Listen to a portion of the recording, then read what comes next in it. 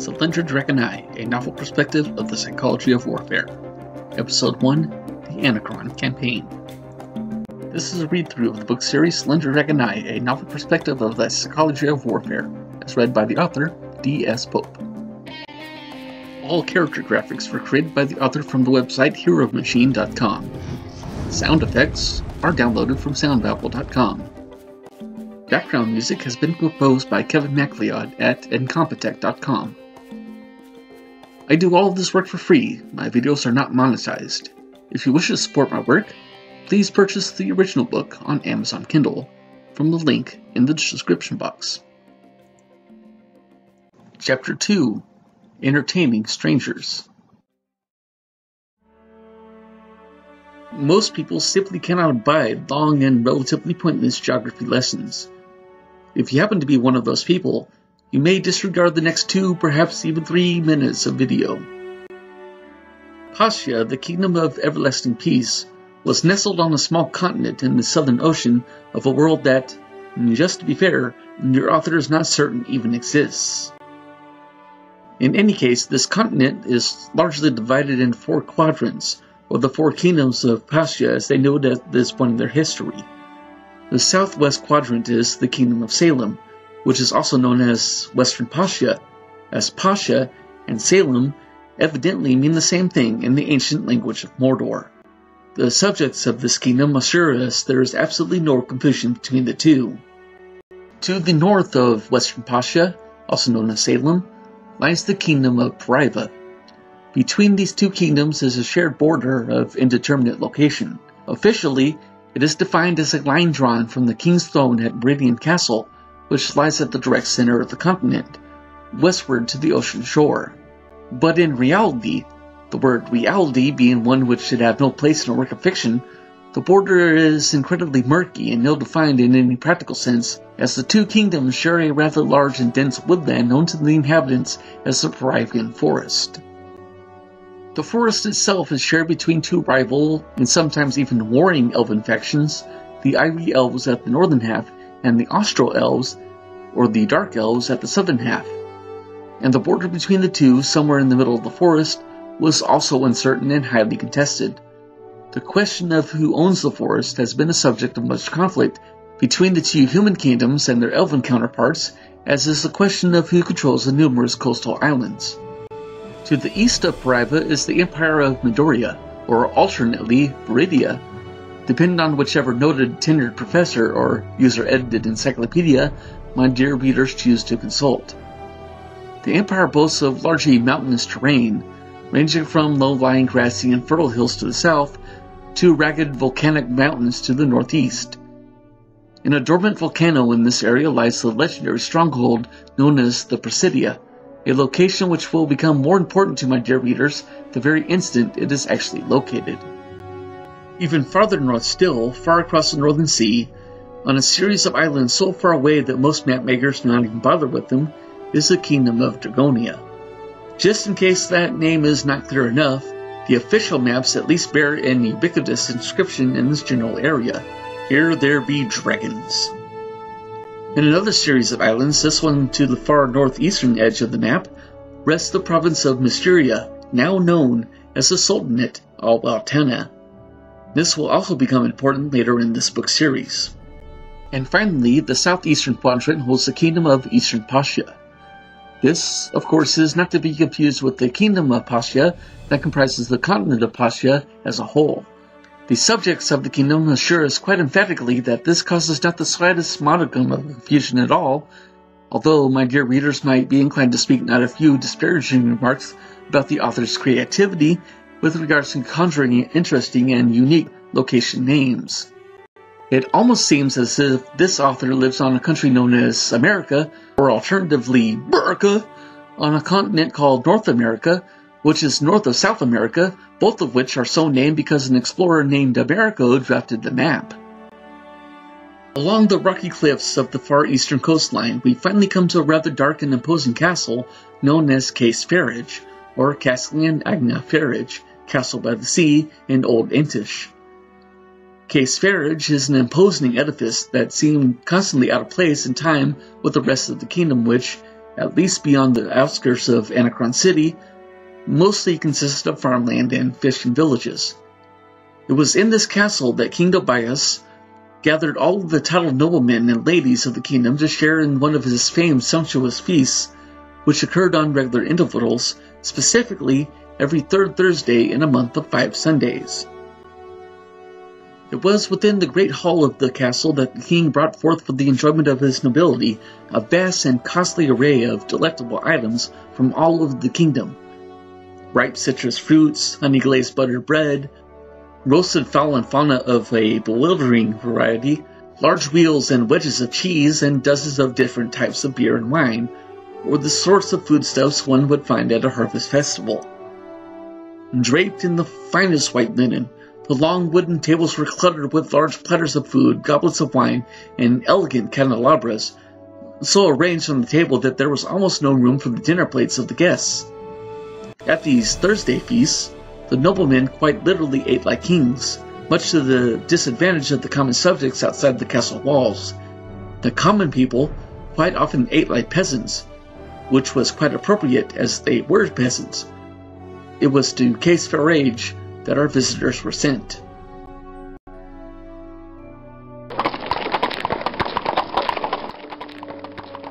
Bourbons are fabulous creatures. Similar to the animals that my dear readers may refer to as horses, only horned and slightly more bovine than equine, bourbons are rather versatile beasts of burdens. Possessing incredible strength, they can haul a guard knight in steel plate armor into the heaviest of battles, run around all day, and still hardly break a sweat. Many a time a guard knight has died from sheer exhaustion and fallen from his saddle, only to have his bourbon mope about looking for another soldier to carry into battle. To have two of such creatures, yoked together in tandem and pulling a heavy burden, hardly meets the threshold of physical exertion for them. The burden on the particular Thursday in question, the 19th of September 1715, was a dark purple carriage with gilded trim and large wooden wheels of similar colors. In the coach seat was an old elf, his bony hand grasping the reins and a look of concentration on his face as he merely pretended he knew how to drive a bourbon drawn carriage. He wore an ankle length black robe with red trim and black leather boots. His long, straight, glaring black beard matched his long, straight, graying black hair, which was drawn back by means of a white and black ribbon into what would have been described as a ponytail had such a creature existed on their world. On the top of his head, worn low to shield his eyes from the bright sunlight, he had a wide-brimmed black leather hat that deftly hid his long pointed ears. It was the type of item that elves normally wore when traveling in a predominantly human kingdom as humans were well known for being quite intolerant of those not of their own kind. In the cabin, the thick purple curtains hiding them from the outside world, sat two dragons, though one would not know it when they traveled about in human form. The first dragon was an incredibly dim-witted fellow. He wore his beard long and unkempt, with his black woolly hair jutting out from his head in dozens of random directions, as if a comb and his hair had never met in polite company presuming, of course, that he even knew what a comb was or how to use one. He had thick brown leather armor on his chest, a fur cloak over his shoulders, and a large steel mallet between his legs with a long handle resting on his left shoulder. At the present time, he was holding two large wooden blocks used to keep the carriage wheels in place when it was parked. He was busy tapping these blocks together to mimic the sound of bourbon hooves as they raced down the dirt road. There was only one thought coursing through his adult mind, as two thoughts together would certainly be too much for him. Protect the princess at all costs. The dragoness, resplendent in a light blue dress with a matching blue ribbon woven into her long wavy black hair, sat on the cushioned carriage seat, bemused at the thought that inanimate blocks of wood were enough to keep her bodyguard entertained. But then she scoffed at the notion that a sky dragoness such as herself would be sitting inside a human stuffy carriage rolling along the ground when she ought to be free to fly high into the air. An even greater insult to her dignity was that this lowly earth dragon, who did not appear to be smart enough to say the words earth dragon, would be tasked with protecting her.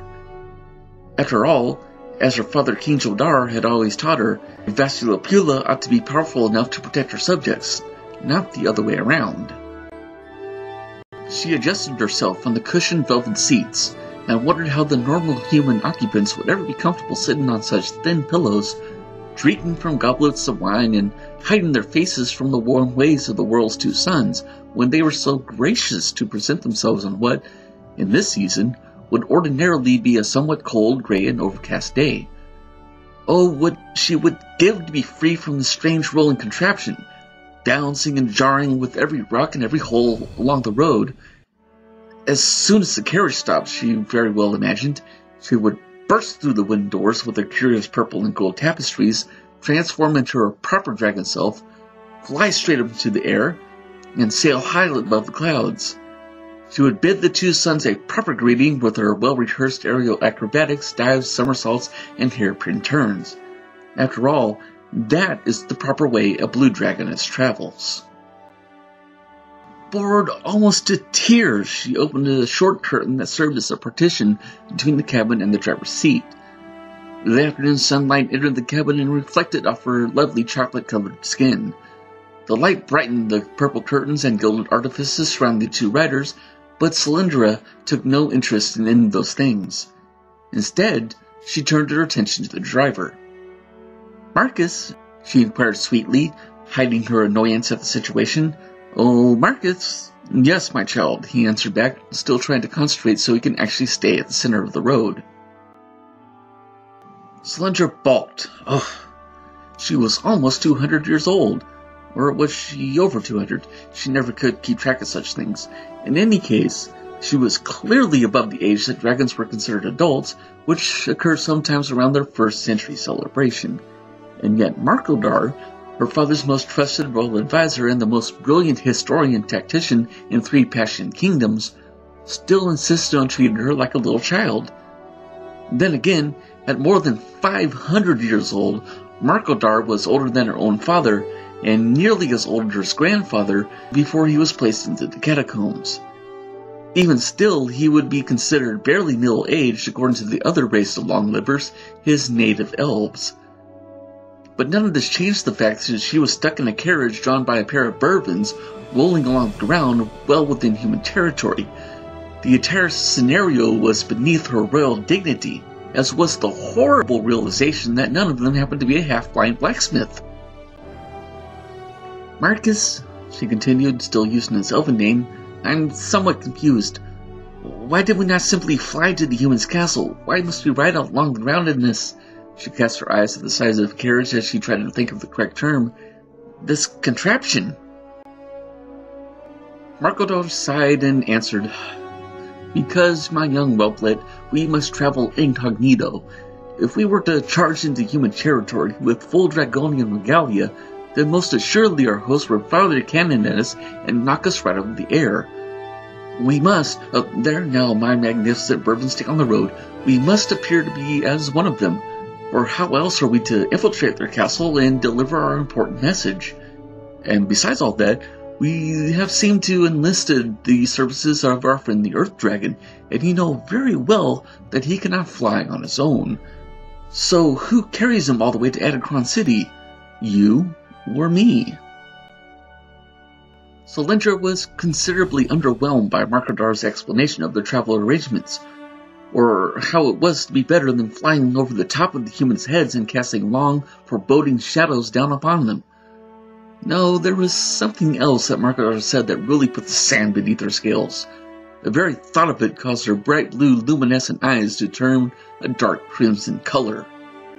The inside of the carriage was bathed in a deep red hue, and even Brutal'dar, the brown dragon, stopped his wood tapping game and tried to stay as quiet and inconspicuous as possible. Well played, Sallyndrah thought. How dare you call me that? Oh, I'm terribly sorry, Markodar answered. I did not mean to offend. Well, you did, and I assure you we will continue this conversation later. For the benefit of my dear readers, who I am fairly certain are intelligent enough to already know such minor details, whelplet is a singularly derogatory term. A whelp, of course, is merely a young dragon, older than a hatchling, which is analogous to an infant, but not quite a fully mature dragon. While the word whelp is used for both boys and girls equally, the word whelplet applies only to girls, almost always to remind them that they are considered inferior, and that certain activities, games, and even political or social standing will be at least significantly limited or even outright denied to them by mere virtue of their gender. To be certain, tremendous changes occurred during the revolutionary activities of Queen Jadra, and no daughter of hers would consent to return to the old ways. Of course, Markodar was fully aware of Jadra's legendary exploits. In fact, as the royal historian, his book, Dragonian History and Social Stratification during the Reign of His Majesty, the Dracos Tyrannos King Jodar, and his wife King Jadra, 7th edition, with updated maps and detailed information of the Word of Ascension, drawn from recently declassified sources, has been required reading for all university students throughout Pasha. However, this fact is problematic for at least two important reasons. Partly because only a small percentage of Pashians ever attended universities, but mostly because those that do never actually read their textbooks. Most of them never get past the title page for some unexplained reason, much to their professor's everlasting chagrin. Further, Markodar only used the word whelplet as a term of endearment. The elves, Ivy and Austral elves equally, typically dispense with gender-defined distinctions. For them, boys and girls are treated the same, and they are limited only by their own intelligence, willpower, and craftiness. Due mostly to such drastic sociological differences between elves and dragons, Markadar has been little more than an outside observer of social life rather than an active participant. This is fairly remarkable, as he happened to be married to Friedra, leader of the Ice Dragons and the younger sister of Jadra. In other words, General Markadar was Sallyndrah's uncle by marriage, as if the reader actually gives half a in the time it took the author to narrate the preceding paragraphs for this video, Markadar had managed to keep the carriage somewhat near the center of the road long enough to approach a wooden bridge, which spanned across a deep ravine with a mighty rushing river. At the foot of this bridge, in the middle of the road so as to block the traveler's path, stood an old man. He had long yellow-white hair and beard and heavy fur coat, and long crooked walking stick, none of which appeared to have been within a stone's throw of a bar of soap in quite a long time. Markadar ordered the Bourbons to stop, and following some insistent pulling of the reins on his part, the beast finally consented and stopped in their tracks a few inches from the old man's long, thin nose. Finally, Sallyndrah exclaimed impatiently as the wooden wheels of the Bourbon carriage squeaked and halted. Even before Markodar gave the order to dismount, she burst through the side door of the carriage and threw her feet to the cold, dusty ground. Then, as was her habit, she looked up to the sky to check the weather. She knew that little uncle, the smaller and more luminous of the suns, was steadily making his approach towards old father, the larger red sun. The times that they perfectly crossed paths, which would be in another three months in this case, were occasions of great mirth and gift giving. This holiday, called Uncle's Passing or Uncle Pass, was a festive celebration that the humans, elves, and dragons alike all looked forward to. The humans saw the interplay of their sons as a foot race between old father and little uncle. Sometimes father was ahead, sometimes uncle, and at other times they caught up with each other in the same location in the sky. The dragons, of course, knew this to be a silly little story, they knew that father and uncle were orbiting about each other in a binary star system, with the planets in the shared solar system, along with their own world of Gia, orbiting in a generally circular path around them. Yet it was not truly circular, as the relative position of the two stars in relation to the planets caused constant fluctuations in gravitational pull, which move the paths of the planets outside what would be a circular orbit into a somewhat spirographical orbit, at least as viewed from above. But the elves knew the true story. To quote the Back to the Future movies, they thought fourth dimensionally McFly. The true orbit of the planet Gia is neither a circle or a spirograph, but something closer to a spiral corkscrew motion as the entire solar system follows the binary stars orbiting about each other in their 225 million year orbit around the great star cluster in the center of the galaxy. And far away, at the direct opposite end of the same galaxy, there was a small lonely planet, which, much like Gaea, is a watercolor terrestrial planet with a viable atmosphere comprised mostly of nitrogen with a 20% oxygen admixture falling within the habitable zone of a singular yellow star.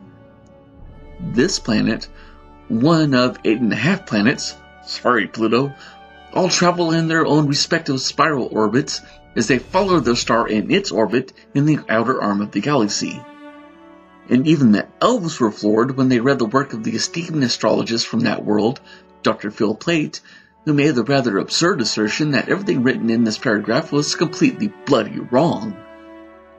Honestly, the author ought to be ashamed of himself.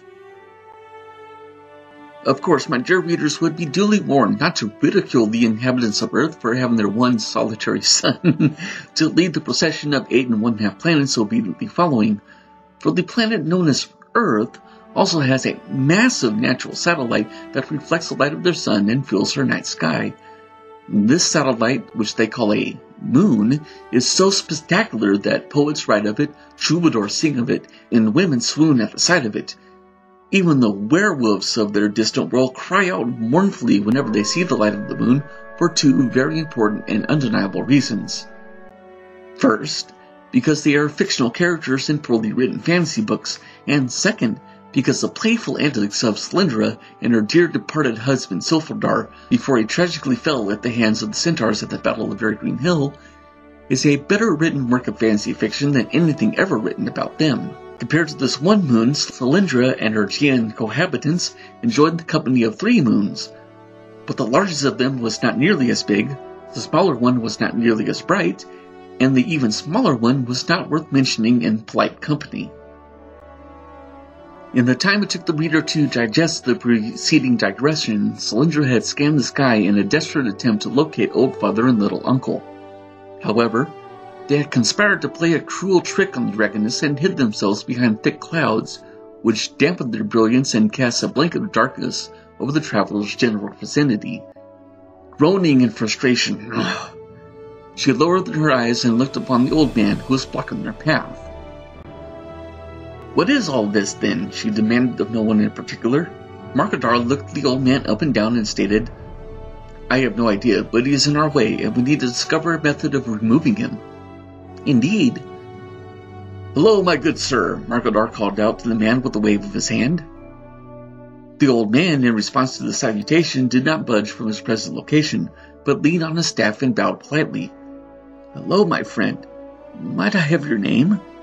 Marcus Pielinskius, at your humble service, he replied regally. Pi, it ought to be noted, was not the first letter of an actual middle name as may be presumed. His parents, in a desperate attempt to make him look more intelligent, assigned pi as his middle name, as it is a literary representation of an irrational number that is the ratio of the circumference of a circle to its diameter. Markaldar then bowed elegantly to the old man, though he took much care not to remove his wide-brimmed leather hat, as that would reveal his long-pointed elven ears. Pleasure to meet you, Mr. Marcus, the man answered without the smallest hint of regality. And what might your name be, my friend? The old man shrugged slightly and answered, Why do you need to know my name? You'll not be alive long enough to tell it to anybody. My lads will see to that, won't they? Now, boys! Suddenly and completely without warning, the old man found his neck within the muscular grasp of Brutaldar's massive fist. Must protect Princess! He bellowed loudly as he gripped the man's throat like a vice. In one swift movement, Markadar sent a fireball towards the side of the carriage. It singed the coat of the old man's oldest son, who was presently raiding the carriage. Likewise, Sallyndrah sent a lightning spell towards the other raider on her side. This trapped the man and gave him painful shock every time he tried to move. Seeing that he had no means of escape, he dropped the box he was carrying, which broke into pieces once it hit the gravel road beneath his feet. A sack of flour spilled on the ground and a handful of apples rolled underneath the carriage. Please, madam, the man begged, I'm only trying to feed my family. Sallyndrah gave a sympathetic look as he examined the rider and the box of foodstuff they dropped on the ground. She sighed deeply, stopped the lightning spell, and instructed the man to take the box with him. I was once caught stealing, she told candidly, The man I stole from was very generous to me and allowed me to make proper restitution. Yes, ma'am, he answered. Go on now, go feed your family. And my father, madam? he asked and pointed at the old man whose throat was still clamped in Budodar's tight fist. Release that man, Brutus, she ordered. Put him down, Markadar emphatically instructed. Brutodar reluctantly set the man back down on the ground. Between coughing painfully and gasping for air, he fell into the arms of his older son as he moved themselves out of the path of the carriage. Might I suggest we not do that anymore? His younger son asked him as he grabbed the food box and walked to the side of the road. There they watched as the travelers, who were much stronger than the raiders had initially suspected, climbed back into the carriage and continued their journey to the castle. At least make sure the travelers don't know magic, the older son suggested. That concludes this segment of Sallyndrah Dragonai, a novel perspective of the psychology of warfare. In the next edition, we find out what happens when castle guards do not stand a proper watch. If you wish to support me in my work, please purchase the original book from Amazon Kindle from the link in the description box.